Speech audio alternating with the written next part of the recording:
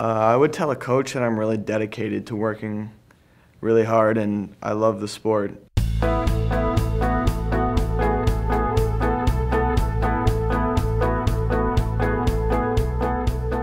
Uh, I would definitely classify myself as an offensive defenseman. I've got a big body so I can clear out in front of the net. My accuracy and speed are a lot faster than kids on my age group. Uh, my slap shot's about 80 miles an hour and my wrist shot's about 60 miles an hour.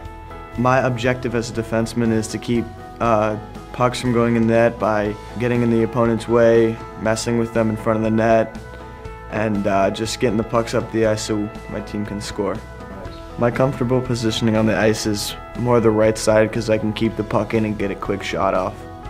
The teams that I currently play on are the Reston Raiders, Bantam top level double AA hockey team, and the second team I play on is the Langley uh, High School varsity team, uh, which I am playing on as a freshman.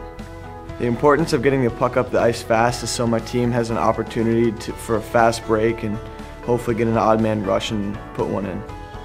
I use my shot on the power play as an advantage because if the other team knows I have a strong shot, that means they're going to cover me more and that leaves my teammates open so I can just fire a quick pass to them and it's in.